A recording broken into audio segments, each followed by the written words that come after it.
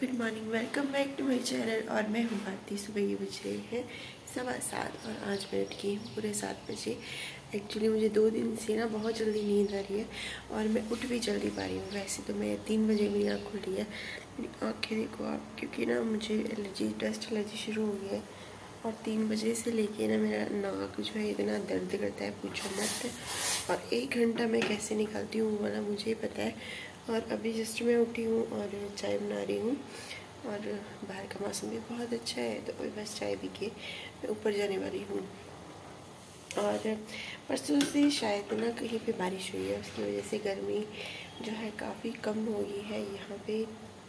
कल तो आ, कल सुबह तो जब मैं उठी थी बहुत ठंड थी परसों रात को भी बहुत ज़्यादा ठंड थी तो मुझे फ़ैन बंद करना पड़ा था इतनी ठंड थी। तो अभी थोड़ा ठीक है और परसों रात को ना शाम को जब मैं वॉक कर रही थी तो बहुत अच्छी ठंडी हवा चल रही थी, जैसे पहाड़ों में नहीं मौसम ठंडा होता है इस टाइम पे, वैसा यहाँ पे हुआ पड़ा है तो सुबह सुबह बहुत अच्छा लगता है। तो अब मैं पी लेती हूँ चाय, फिर चलती हूँ बहुत जल्दी से।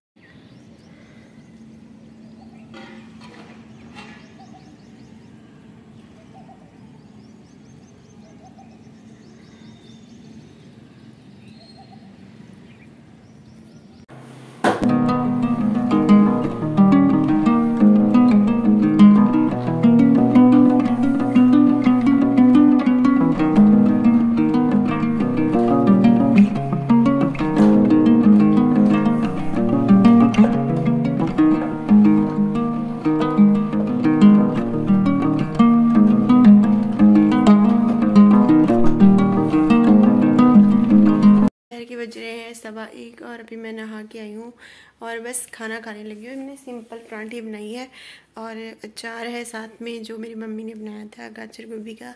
तो वैसे मैंने सोचा था कि मैं गोभी की परांठी खाऊँगी बट जो गोभी है ना बहुत पुरानी है तो वो बिल्कुल ड्राई हो चुकी है। तो मैंने सोचा कि खा के तो बीमार होने वाला काम है तो मैं उसको फेंक दूँगी। तो फिर और कुछ घिया भी था बट वो मुझे अभी मन नहीं कर रहा था खाने को। कौन सब्ज़ी बनाएगा? थक चुकी थी काम करके, घर का सारा काम हो गया है। अभी बस मैं नहा के आई हूँ और खाना खाऊँगी और साथ में है चाय। और साथ में इंजॉय करेंगे टीवी टीवी अभी मैंने ऑन नहीं किया है। मैंने खा लिया है और अभी मैं बड़ी टीवी देख रही हूँ और मैंने साथ में ग्रेप्स भी खा है। खाए हुए तो अभी काफ़ी टाइम हो गया है, एक घंटे से ज़्यादा। और अब मुझे फिर से भूख लग रही है क्योंकि रो, दो ही चपातियाँ थी। और मैं सोच रही हूँ मैगी बनाऊँ क्योंकि काफ़ी दिन हो ही गए हैं, हफ़्ता दस दिन तो हो ही गए हैं खाए हुए। तो आज बना के मैगी खाते हैं और शाम को देखेंगे कोई दाल सब्ज़ी कुछ बनाएँगे। और आज मैंने न्यू वाई लिपस्टिक लगाई है, ये इसके साथ मैचिंग लाइट शेड्स ही लगाए हैं। तो डार्क जब मैं लगाती हूँ ना तो मुझे पता नहीं अजीब सा लगता है तो मैं कम ही यूज़ करती हूँ डार्क शेड लिपस्टिक के। और अभी तो मैं बर्तन साफ़ करूँगी, उसके बाद देखते हैं क्या करना है।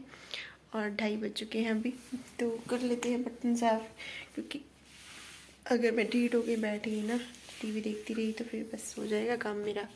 मैंने आज जग निकाला है, इसमें पानी भरूँगी। वैसे मुझे नहीं लगता कि इसमें मुझे पानी टेस्टी लगेगा। मैंने इसको वॉश करके तो रखा है तो अंदर से है अभी क्लीन इसमें से मिट्टी की स्मेल भी आ रही है तो पानी इसमें भर देती हूँ, देखते हैं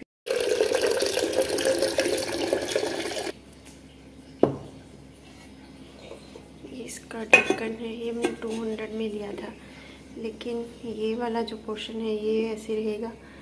इसके लिए कुछ बनाना पड़ेगा मेरे पास क्ले है? तो मैं उसी से बना लूँगी। और आज मैंने ये बनाया, आज नहीं, आज और कल दोनों में मिल के मतलब बनाया। तो अभी ये यहाँ पे, क्योंकि ये जो टोकरी है ना, इस पर डस्ट पड़ती है तो इसके अंदर तक चली जाती है। तो इसमें मैंने जैसे किचन में यूज़ होने वाले कपड़े रखे हुए हैं। तो ये रहेगी तो ये चकले के नीचे रखने के लिए बनाया मैंने। और जो मिट्टी का बर्तन होता है, मैंने सुना है कि उसको ऐसे खुले में रखना चाहिए, तभी पानी ठंडा होता है। तो इसके लिए मैं कुछ बनाऊँगी। तो देखते हैं कि पानी ठंडा होता है या नहीं।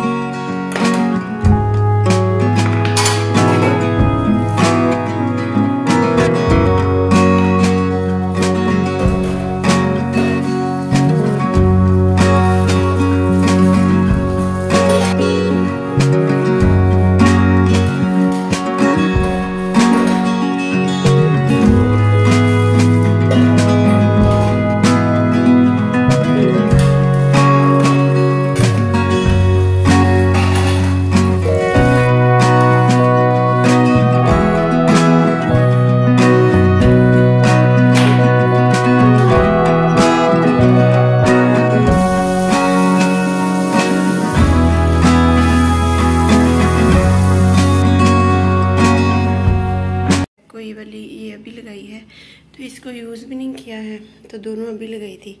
तो अभी दोनों पे जंग आ चुका है, ये देखो। मैं बना लेती हूँ जल्दी से मैगी, क्योंकि मुझे थोड़ी भूख लगी, इतनी नहीं लगी। तो मैगी, ये मैंने फट्टियाँ ना बैठने के लिए रख ली हैं, जैसे यहाँ पे बैठ के मैं प्याज वगैरह काट लेती हूँ, क्योंकि यहीं पे पास में प्याज, लहसुन, अदरक मैंने रखा हुआ है।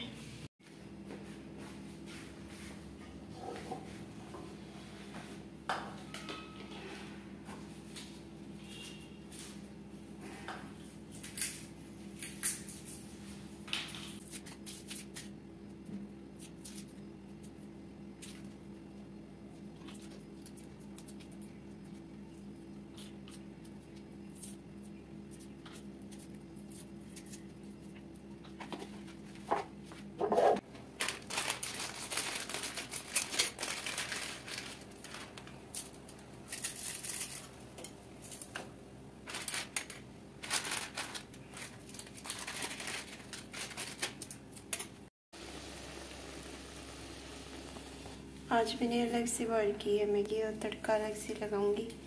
प्याज और लहसुन, सरसों का तेल, हरी मिर्च तो डालनी ही है। सरसों के तेल में मुझे तो लगता है कि हल्दी डालती हूँ। क्योंकि पहले तो इतना येलो येलो आता नहीं था अभी ऐसे अलग से येलो दिख रहा है ना, ऐसे लग रहा है जैसे हल्दी डाली हो, लेकिन मैंने अभी कुछ ऐड नहीं किया। मेरी लाइन से कुछ मान मंगवाया है तो देखते हैं। इस तरह का है। ज़्यादा नहीं होता मुझे खाने ही खाने होते कभी कभी और एक ये तो इसको फ्रिज में लगा देती हूँ। इसको भी रख देती हूँ। बाकी सारा ये ऊपर जाएगा। और कोल्ड ड्रिंक वगैरह ना मैं हमेशा वॉश करके फ्रिज में रखती हूँ। मैं करने वाली हूँ इसको पेंट ये मेरे हस्बैंड लेकर आए थे कहीं से टू हंड्रेड में। तो उन्होंने बोला था कि इसको पेंट मत करना। इसको ऐसे ही नेचुरल रहने देना। लेकिन अब जो इसकी हालत थोड़ी सी ख़राब हो रही है तो मैंने सोचा कि पेंट कर ही देते हैं और फिर इसको यूज़ में लाते हैं। तो ये मैंने दो कलर निकाले हैं येलो और वाइट इसी से पेंट करूँगी। तो लीजिए कलर इस पर मैंने कर दिया है और अभी देखते हैं कि इसको हम किस तरह से अपने घर में सजाते हैं और अपने घर की जो शोभा है, इससे बढ़ाते हैं। मैंने इसमें दो कलर किए हैं। ऊपर वाली जो ये लाइन है, इस पर मैंने येलो कर दिया, नीचे वाइट और इस पर मैंने कोई कलर नहीं किया है।